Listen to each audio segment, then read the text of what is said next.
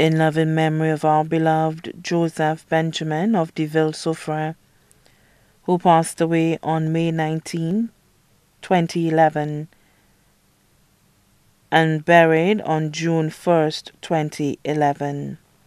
In loving memory of our beloved Marcella Grant, also known as Marcel or Nenan of Deville Soufriere, who passed away on Tuesday, 10th July 2018 and was laid to rest on Monday, 23rd July 2018.